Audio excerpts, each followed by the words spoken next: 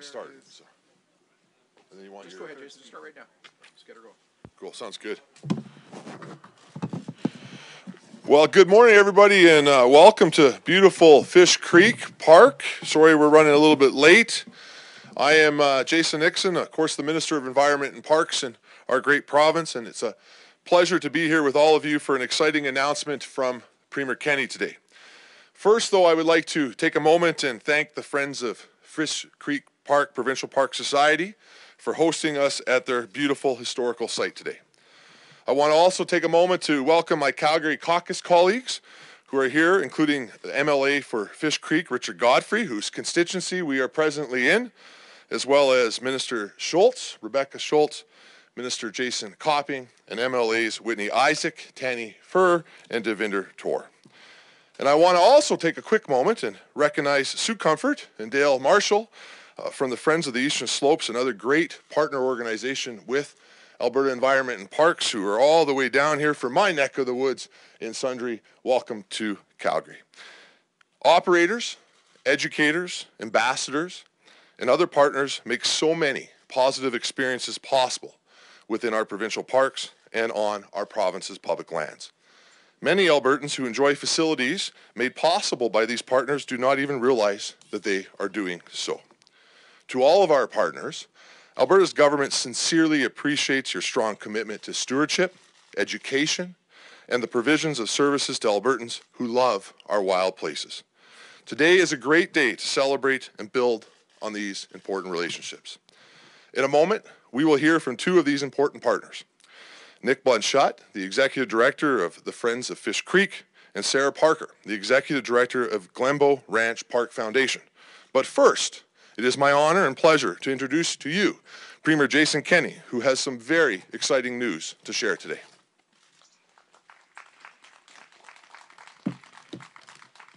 Well, thank you so much uh, to Big Jason. Uh, and it is great to be back in Calgary's backyard, Fish Creek Park, one of my favorite places uh, anywhere on earth.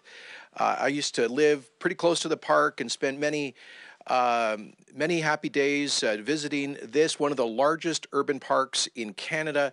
Uh, which is deep in, uh, in, rich in our history, uh, and a fantastic preservation of our natural environment. Thanks to all of the uh, MLAs and uh, ministers who are with us, uh, particularly in the constituency of, of Calgary Fish Creek, Richard Gotfried, who is a passionate advocate for Fish Creek Park, for a very exciting announcement about uh, strengthening Alberta's provincial parks while creating jobs as part of our economic recovery strategy.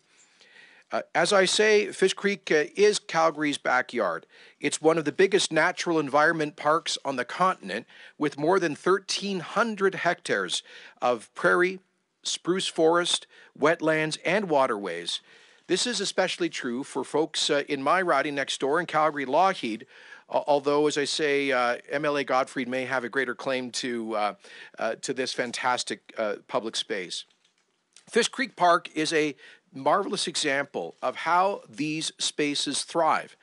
For Calgarians across our city, especially down here uh, in the deep south, this has always been a special place that has brought our community together. Fish Creek is home to a rich array of wildlife and sensitive historical sites, recording thousands of years of human presence. From the First Nations to the first Europeans, uh, the Glenn family, who arrived uh, in this valley in 1873. The park gets two to three million uh, annual visits and has over 100 kilometers of pathways, along with educational facilities, roads, and utilities. That's why today is such a great day. Parks like this have drawn people to our province, bringing them in as guests uh, and convincing them to stay as Albertans.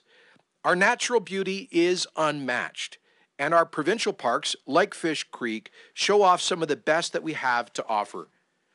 If this year, this really tough and different year, has taught us anything, it's how lucky we are to have such a beautiful natural environment to explore, uh, even when the rest of the world has shut their doors due to the pandemic.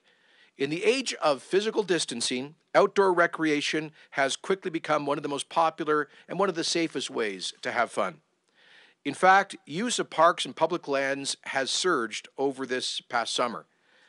That is why I am thrilled to announce that Alberta taxpayers are investing more than $43 million in our parks to improve trails, upgrade campgrounds, enhance day use facilities, and other infrastructure to help folks enjoy our parks while protecting Alberta's environment.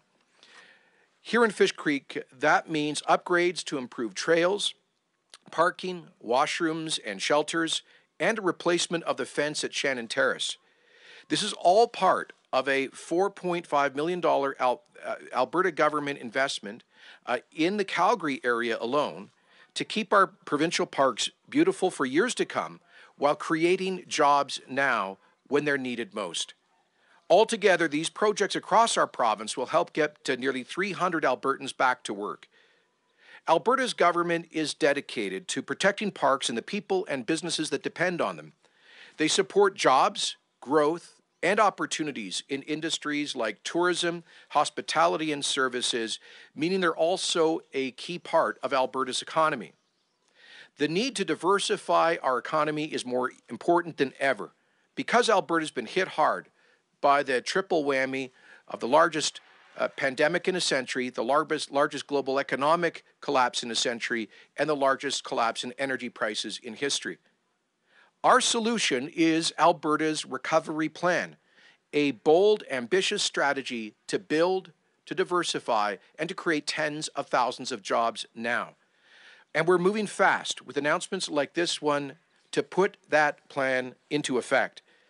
In the short term, we're investing in projects to get Albertans working now, building infrastructure that will support our economy and prosperity long into the future. But it's not just the government that looks after these amazing parks. I am truly grateful to the volunteer organizations like the Friends of Fish Creek uh, Park, uh, Provincial Park Society, who are out there every day maintaining, monitoring the, the, the landscapes, and improving these parks and the visitor experience. What you have accomplished here in the heart of our largest city points to how important your work is. In fact, uh, a number of partners like this help to identify the need for the improvements we're announcing today, and they'll be essential to helping to get the work done. They bring valuable experience to the tasks of reaching out to visitors, educating them about responsible recreation, and preserving ecosystems. Uh, this kind of public service and public spirited devotion to the community deserves public support. And so I am also pleased to announce today that in addition to the uh, job creating capital funding, uh, we are also announcing a program to our grant, a program grant to our hosts, the Friends of Fish Creek Provincial Park Society.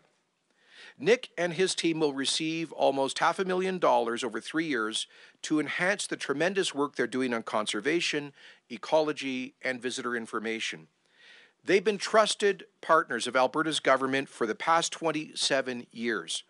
The beauty all around us speaks uh, eloquently to their devotion uh, to, to this uh, provincial park. And we're strengthening our relationship with the society to allow them to have an even bigger positive impact on Fish Creek and the hundreds of thousands of folks who love it.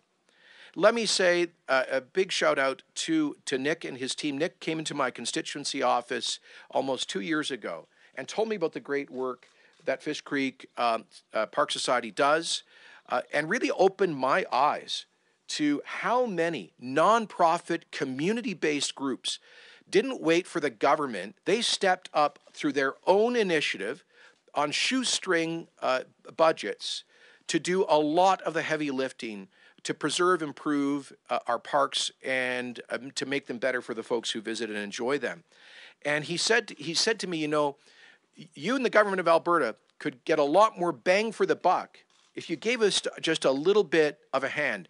We can take a small amount of funding and with our volunteer efforts, uh, we can really magnify the impact of, of that on the operation of these parks.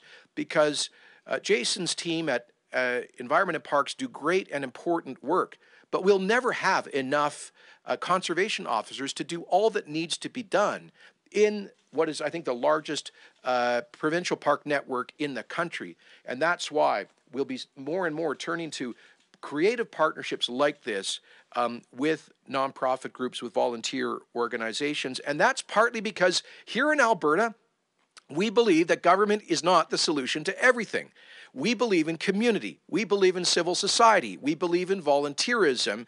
Uh, and that's what this announcement is about today. It's why it was Nick's idea that led to uh, our platform commitment to quotes strengthen partnerships with not with nonprofit park societies like the Friends of Fish Creek Park and do so all across Alberta. So today, I'm happy to say, is another promise made and another promise kept. Nick and everyone who's here from the Society, congrats on decades of hard work. You've done a terrific job of maintaining Fish Creek, even as the city has grown around it. Alberta's government is looking forward to work with you uh, with uh, to preserve this oasis of our economy as Alberta's economy recovers. Now, uh, Jason Nixon will be making announcements in the future about partnerships with other nonprofit groups uh, who uh, help to keep our backyard beautiful, sustainable, and accessible. Alberta's special outdoor spaces wouldn't be special without them. And while we're in tough times, there are always passionate people ready to give uh, their all for the causes that we all believe in. That's the Alberta way. It's true of parks, just as it's true when it comes to our economic recovery. Hard work, ingenuity, and generosity made our province what it is. As the relaunch picks up speed, I've been seeing the same qualities all around Alberta amongst workers, families, businesses, and community groups. We've been in the worst public health crisis in more than a century, and now we are in a very deep fiscal hole. But we Albertans are a stubborn bunch, especially in the face of extreme challenges. And as history shows, we always overcome them. This time will be no different. We'll get through it together and emerge stronger on the other side. Thanks very much, and looking forward to hear from from Nick and uh, and others about how they'll put the, this funding to great work.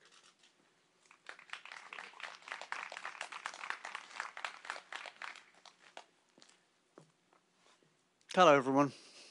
Um, that was um, quite an experience. I, I feel very humble uh, to be here after what has been a long 27 years for this society. Uh, I, I, know some of the founding members, the people who are right at the beginning, uh, well meaning community members who just wanted to help. I mean, this is a big park, it takes a lot of looking after. Um, so the original idea of the of the Friends of Fish Creek was actually to to come into the park and help pick up some of the garbage. That's where it all started. Um, we fast forward 27 years to this moment. Um, this is this is a great achievement for the society. I on, on behalf of, you know, our members and especially our volunteers and board and the staff, I would sincerely like to thank Premier Kenney, Minister Nixon, and and the team at uh, Alberta Parks for supporting our vision and believing in us and working with us to get to this moment where we can do more. And we do do a lot. We have 250 or so registered volunteers who together provide over 10,000 hours of volunteer work in this park annually. That's an incredible achievement. Uh, wonderful people from this community. Um, we spend a lot of time talking to our volunteers in our community because we need to know what, what drives people. Why do they keep coming back? Why do they want to be here pulling weeds, for instance, on a hot summer's day? And we learned how much this park means to each person at an individual level and as a, a, family level. People come here for all sorts of different reasons, reasons we would never have guessed in, in, in, until we took the time to, to speak to them and ask. Uh, so this park provides an incredible canvas, if you like, for people's lives. People come here with their family or to exercise or to decompress or to learn or just to be outdoors for a few moments a day in, in, in a, a pleasant natural environment to be restored. There's so many different reasons and so many fascinating stories that we've been, we've been fortunate to, to be privy to. So the park provides a great service and there's this sort of symbiotic relationship because the community also provides an incredible service to the park in the hours that they put in to look after this park to make sure that it's going to be here for generations to come. So, with the grant from AEP, we're, we're in an incredible position now to be able to really leverage all the things that we've learned and all of our wonderful volunteers and all the opportunities we have, not just to do more of what we already do, do so, excuse me, but also to work with our partners at Alberta Parks and, and, and explore some new ways that we can support the park and we can facilitate more and more opportunities for our volunteers to to get involved and support the part they love and, and keep it here for future generations. So thank you very much. Awesome. Thanks, Dave. Appreciate the opportunity, gentlemen. Thank you. Thanks for that, Nick. We're also going to ask right now at this time for uh, Sarah Parker, who's the executive director of the Glenbow Ranch Park Foundation, another great partnership agency with Alberta Environment Parks, to come up and say a few words. I think you've been doing this longer than me because I need paper. um, hi, everyone. On behalf of my team, I want to thank Premier Kenney and Minister Nixon and all of you for allowing us to be here today um, for part of this important announcement. 10 years ago, it's pretty crazy to think, but 10 years ago, Glenbow Ranch Provincial Park began welcoming people from Alberta and around the world. And since that time, we have productively partnered with Alberta Parks to preserve, protect, and manage this incredible grassland asset. Our partnership is unique and I really believe truly symbiotic. Together, we preserve, enhance, and protect Glenbow Ranch through ongoing communication, collaboration, support, and just everyday relationship building. Together, we've managed many successful capital projects in the park, like in 2017 when we enhanced and realigned some of our trail, and our soon to be completed fully accessible um, pond viewing platform. We share a mutual commitment that Glenbow Ranch is preserved for future generations to enjoy. Our foundation is particularly proud because we take on the educational programming for the park. And every year we see roughly 5,000 children from the Calgary area. We give them hands on, engaging learning experiences, which I know they take home and tell their parents about over dinner, and I love hearing that and we are always working towards strengthening this programming for the future. If you haven't spent time in grasslands, I will tell you they are a highly exposed area. And what that means is that weather can change on a dime, and that often leaves visitors exposed to weather that they just weren't prepared for. And uh, we've definitely rescued a few in storms and, uh, and hot days. So that's just one reason, Mr. Premier, that we are so excited that uh, you will be building us a four season educational facility for the park. Beyond a haven during stormy weather, this new facility will enable young Albertans to learn more about this landscape, landscape and the human history. They will learn about Indigenous communities who understand and value grassland ecosystems, and they'll learn about wildlife, the habitat that surrounds them, and con conservationism. Our goal is that each child who leaves our programming has a desire to protect Alberta's grasslands and other sensitive ecosystems, and uh, I hope eventually volunteer for us in the future. This new facility will also ensure enhanced programming for visitors of all ages through monthly park talks, special events, and providing a meeting space for our volunteers and other community organizations. I recognize and my team recognizes that right now is a very challenging time for all of us. And so we're very grateful for this investment in our new home. Uh, I want to thank Premier Kennedy and Minister Nixon. And I also want to give a huge shout out to the incredibly dedicated and hardworking Alberta Park staff. Um, we can't do what we do without them, and I hope they can't do what they do without us. Together, I believe that we will strive to uphold Glenbow Ranch Provincial Park and its legacy for generations to come. Thank you.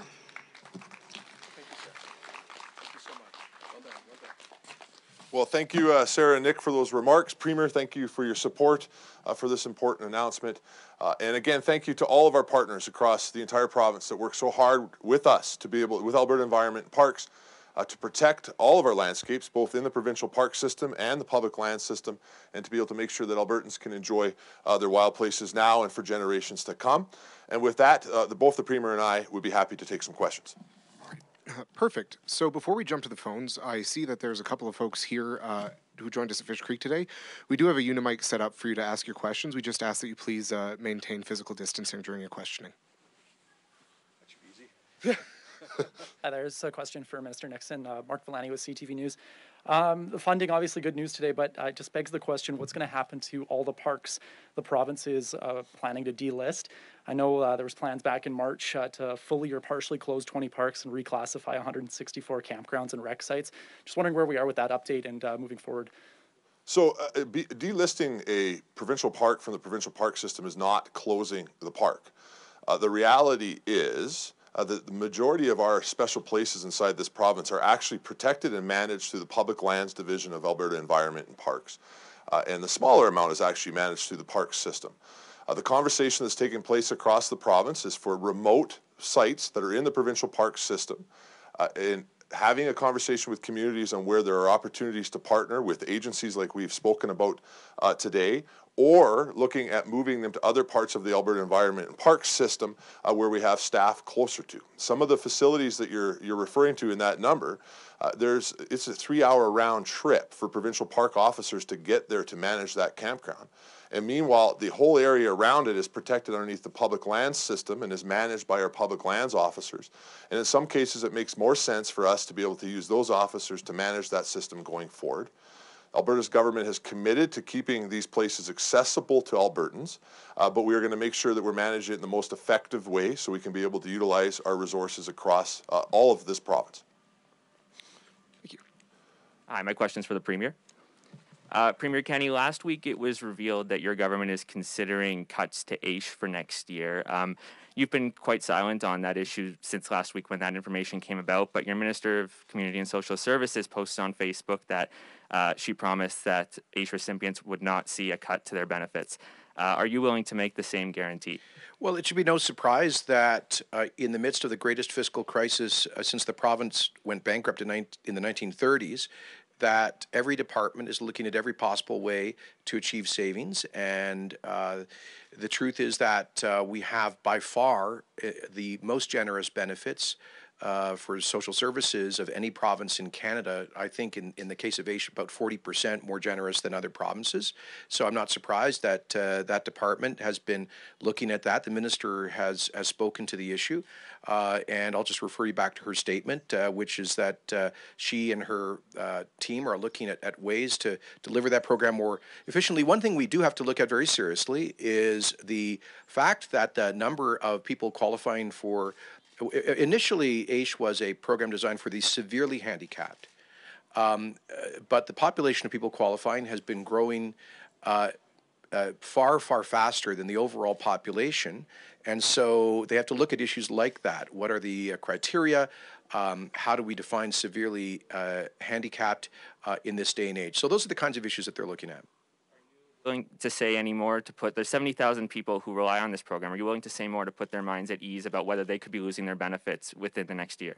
Um, I, we people as, as long as they qualify won't be losing benefits. Hey there, my question's for the minister. Um, just more specifically, there were obviously the quiet uh, halting of the closure of 17 parks this summer, just so Albertans could enjoy the outdoors um, while COVID's happening. So I wondered uh, now that the summer's winding down, what's happening to those 17 parks specifically, and are you putting them back kind of on the chopping block? Well, again, those 17 facilities were not being closed to Albertans. They uh, always have been intended to remain open for Albertans to access and utilize the same way that they do public recreation areas all across the province. Uh, during the COVID era, uh, we had to slow down the process of being able to transfer that from one division of the department to the other. At the end of the day, though, these facilities are not closing. They remain protected. They remain open to Albertans to be able to utilize, uh, but they're heading to other portions of the department where they can better manage uh, the resource on behalf of Albertans. And so, in regards to those 17 facilities, the plan will continue uh, as now that we've come out of the, this extraordinary busy season that we've seen on public lands, and we'll work with the public land side of my department uh, to be able to take possession of those parks from the provincial park section, and they will be uh, doing everything possible to make sure they're operating and available for Albertans next year. Thank you. Uh, this is for Premier Kenney. Uh, Mr. Premier, uh, Erin O'Toole met with uh, Quebec's Premier uh, this week. Said afterwards that the Canada East project. I think you mean Energy East. Energy East, yes, sorry. Energy East program is off the table if he becomes Prime Minister. Thoughts? Well, actually, Bill, go back and check the transcript because that's not what uh, Erin said. Uh, he said that, uh, first of all, he told the media that he had proactively raised with the Premier of Quebec the importance of Western Canada's energy sector, oil and gas, and getting Western Canadian oil to global markets. Uh, he was then asked, What about Energy East? He said, Energy East is off the table, and that's a matter of obvious historical fact because in October 2017, the Trudeau government killed Energy East by imposing new regulations on TC Energy that pulled their application.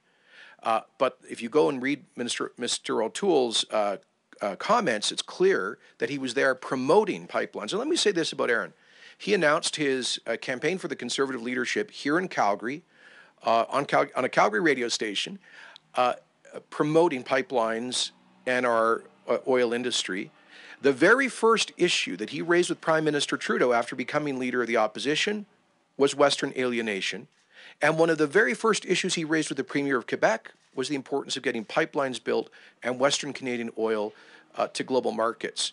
So the fact that he just acknowledged that Energy East um, is no longer an, an active project is just a statement of fact. I wish uh, that were not the case. I wish Justin Trudeau's government had not imposed ridiculous new uh, regulations that caused TC Energy to walk away from the table. I wish we had had a provincial government in 2017 that would, would have stood up um, to the Trudeau government's uh, mandate that pipeline proponents have to take into account both up and downstream carbon emissions, but we didn't. And so it's true. Because of the Trudeau government, TC Energy took Energy East off the table. I, for one, and Alberta's government have not given up on the dream or a vision of a west east pipeline system that takes Alberta oil to uh, the Port of St. John's or the Irving refinery um, to displace Saudi oil imports. Uh, and that was one of the first issues I raised with Premier Legault when I first met with him. I will continue to do so. Um, speaking of which, allow, allow, allow me to congratulate uh, my friend Premier Blaine Higgs on his reelection with the majority government mandate. Uh, last night in New Brunswick, uh, Premier Higgs is a former oil industry worker. He worked at Ir- the Irving uh, oil refinery, uh, and he has been a passionate advocate of that uh, dream of connecting the country through energy independence with a west east pipeline. Just a follow up uh, what can be done to get a, a west east pipeline? Well, what, what can be done is a, a, a private sector proponent coming back to the table with a with a proposal. And let's be honest, that's not going to happen at um, thirty-five or forty dollar WTI at the current prices. But I uh, truly, truly believe there is a strong future for oil and gas in Alberta and in Canada. Uh, when global demand recovers post COVID to something at or close to 100 million barrels a day, we are going to find very quickly a global supply crunch because there's been little or no investment in upstream exploration, uh, not just in North America, but across the world. When that happens, Alberta is set to succeed because we have one of the most efficient oil industries in the world. When we develop an oil sands project, it's there to produce for 30, 35 years. The same with thermal. And so we will demonstrate the, the efficiency of our sector, our, availability, our, our, the availability to provide that energy uh, as, as long as we get pipelines built. I think there are going to be strong prices um, 20, by 2022, post recovery, because of that supply crunch. And perhaps in that context, we could see a private sector proponent come back to the table with a concept like Energy East. Right, perfect. We'll take our last question from the floor before going to the phones. Premier Kenney, you can just stay right there. Um, I, I, would appreciate your thoughts. There was a recent poll done by Leger, it's a national poll, where 25% of Canadians said that they feel that officials have overblown the COVID 19 pandemic, suggesting that Albertans are the most likely Yeah. province to believe that. What are your thoughts on that? Yes, I uh, th- I can see that very much as the case. Uh, you just have to check out my Facebook page, uh, and I will say that um, what one of the things that's unique about uh, Alberta, and we I think we, we see reflected in a lot of different polls, we have a very very large number of Albertans who believe that um, the government, this government, and governments generally have overreacted uh, to the COVID nineteen pandemic. Um, and uh, on the other hand, we have a significant number of people who think we've underreacted. Yeah, I'll just give you an example. Yesterday, I, I posted what I thought was, well, it, what is factual information that I thought was modestly good news that the number of Albertans in hospital with COVID 19 is down to 37, with only seven in intensive care. Uh, and that number keeps declining.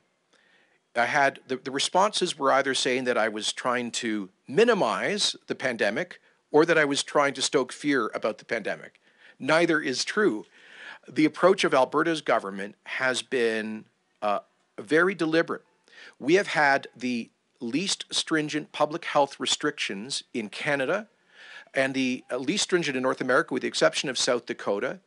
We have had less stringent public health restrictions than any country in Europe that I know of, with the one exception of Sweden. So we've taken the approach of trusting people uh, and their personal responsibility. And we've done well as a result through most of the last six months with the lowest level of infection, hospitalizations, and COVID fatalities of the large Canadian provinces, and lower than anywhere in the United States, and I believe anywhere in Europe. So I think Alberta is, its, is a model uh, of its own about how trusting people to be personally responsible has worked well. Not perfectly, there are lessons that we have to learn. Uh, at the height of the pandemic, 85% of Alberta's businesses uh, continued to operate within safe guidelines, representing 95% of our economy. Where in Ontario and Quebec, for example, they shut down the entire manufacturing and construction industries. They continued to to uh, operate and create jobs in Alberta. So we have to. I, my, what I would say to those folks is, first of all, um, COVID nineteen is real. We we can't wish it away. We can't uh, ignore it, and if we don't take reasonable precautions, uh, there's always the potential that it could lead to exponential growth and overwhelm our healthcare system. I would say to those who want us to shut everything down constantly, who didn't want to, to those who wanted us to close the schools uh, and to shut down more of the economy and and and and and, and want uh, uh, basically government micromanagement of people's lives, I would say to those folks, um, look, the goal is not to eliminate the spread because that's effectively impossible. The goal is not to eliminate risk because we live in a world with risk. The goal is to manage the risk prudently. And I think we've done a pretty good job as a province in hitting that sweet spot. Thank you. Uh, operator, uh, can you please put through the first caller? Our first question comes from Chris Varcoe of the Calgary Herald. Your line is open. Hi, Premier. Just to follow up on your comments about energy and energy demand. Uh, yesterday, BP uh, released its annual energy outlook report and said that even under its most conservative scenario, the pandemic is going to cut oil demand by about 3 million barrels a day by 2025. And two of their scenarios show oil peak, oil demand had rather has peaked already as in 2019. Does this give you any cause for concern? And what would it mean for Alberta's oil and gas sector and the need for pipelines going forward, in your estimation? To the contrary, I don't think it's cause for concern. I think it's a confirmation of what we've always said that there uh, will be a huge demand for oil and gas well into the future. Um, Chris, uh, you know, there, there are some people who live in a fantasy land where they think that we can flick a switch uh, and somehow airplanes are going to be run, uh, operating on unicorn farts or something. Uh, and in the, but in the real world, we're going to be consuming hydrocarbon-based energy for a long time to come. That's what the BP projections confirm. I mean, the International Energy Agency, uh, their standard projection is for global consumption of crude oil at one at 110 million barrels per day in 2040. They're, uh, they've done a different scenario, which is their most bearish scenario. Fully, we're in a world that is fully compliant with Paris uh, climate treaty And in that scenario, they see about 75 million barrels per day, so off 25% of the pre COVID uh, level. What BP is saying is like 97 million. So they're well within the range of where we've been in the last uh, decade or so. And, and so here's the point for those people who want to, quotes, leave it in the ground, including, let's face it, a bunch of people in Ottawa right now, um, they are operating in a fantasy world. Here in Alberta, at least, we're operating in the real world. And we know that you cannot function a modern industrial economy uh, anytime now or in the foreseeable future without massive consumption of oil and gas. The challenge is how do we produce uh, that uh, oil and gas in, in a more environmentally responsible way? We've made massive progress on that. We will continue to do so. Uh, so I, I, don't see the, the BP uh, forecast as a problem. To, to the contrary, I'm going to restate what I said earlier, Chris, which is that we know there will be a supply crunch once global demand recovers post COVID. And we will be there because, unlike US shale, it's not churn and burn. We don't need to drill uh, a new well every year to replace uh, shale wells that are exhausted. We have projects that might be capital intensive up front, but they generate energy for 25, 30, 35 years. I believe for that reason we have the most capital efficient oil and gas sector in the world, and that will become evident uh, post COVID recovery. All right, perfect. We uh, have time for a few more calls. So, uh, operator, can you please put through the next call? Next question comes from James Keller of the Globe and Mail. Your line is open. Hi, this is a question for the Premier about the uh, public inquiry led by Steve Allan. Uh, Mr. Allan published some documents related to the inquiry this week, notably confirming that the process will not be looking at whether any of the environmental groups you're concerned about are spreading misinformation. He essentially says he does not have time to do that sort of fact checking. So, what do you think about that? What is the value of this inquiry if it's not even going to look at that sort of main allegation that there is a misinformation campaign? And is there an acknowledgement here that maybe this isn't as obvious as a problem as you claimed? Well, I haven't uh, uh, seen the letter, so I'll have to take a look at that. Um, and I haven't communicated with, with, Commissioner Allan since the beginning of the process because he is independent. Um, the I know that he the commission has had to spend uh, some of its time by what I would call a nuisance lawsuit, uh, coming from those some of those uh, foreign-funded special interests that want to, to, avoid any kind of transparency or accountability for the lies that they've told about Alberta's responsible energy sector. Um, I, I, just think the very fact that they're trying to shut down that inquiry is is perfect proof uh, that they do not want the uh, the, transpar- the transparency that the commission is about. Uh, I've always believed that sunshine is the best disinfectant, and we need to get to the bottom uh, this, of the foreign-funded campaign to landlock Alberta energy. Uh, that's uh, why we committed to the commission in the last election, Uh, and that's uh, the the mandate that's been given to the commission. Perfect. We have time for two more questions. Uh, operator, can you please put through the next caller? Our next question comes from Colleen Underwood of CBC. Your line is open. Hello, Premier. Can you hear me? I can. Oh, good. Okay. So uh, this has to do with another poll, a recent poll suggesting that you're tied with the NDP in support among Albertans if an election were called today. Just your thoughts on that. Well, first of all, uh, I'll remind you there were polls bef- just before the last Alberta election that supposedly had a neck and neck finish, when in fact uh, the United Conservative Party won that election by 23 points. So that's about how much credence I put in some of these polls. Secondly, we are focused on preserving lives and livelihoods, not polls and politics. Unfortunately, the NDP every day is trying to politicize this pandemic. Our focus is relentlessly on getting Albertans through one of the most challenging times in our history. Okay, perfect. Uh, operator, can you please put through the last caller? Our final question comes from Tom Vernon of Global News. Your line is open. Hi, Premier. Thanks for taking my question. Um, we've got the throne speech coming up uh, soon from Ottawa. A number of companies in Alberta looking at technologies related to hydrogen, um, lithium, stuff like that. First of all, what's your government planning to do to help those types of diversification projects, and what do you want to hear from Ottawa on that sort of stuff? Great question, Tom. Th- those uh, industries and new technologies are very much part of Alberta's recovery plan uh, to diversify our economy and to leverage our strength in the energy industry to do so. Uh, we are developing a policy framework, for example, for the helium industry, a policy framework for uh, geothermal energy. A, a, a we're doing initial policy work on the concept of uh, uh, commercialization of blue hydrogen. Uh, we are making major investments uh, in technology to reduce the carbon intensity and environmental impact of our oil and gas sector through the Technology Innovation, and Emissions Reduction Fund. And our appeal to Ottawa is to work with us on cutting edge technologies like that, which help Canada become the world leader in environmentally responsible energy production. The answer has never been punishing people for heating their homes or driving to work. The answer certainly isn't policies that would shut down the largest sector of Canada's economy, oil and gas, that's responsible for 800,000 jobs in our economy and pays more taxes than any other sector. The answer is in innovation and technology. That's what we're doing as a provincial government.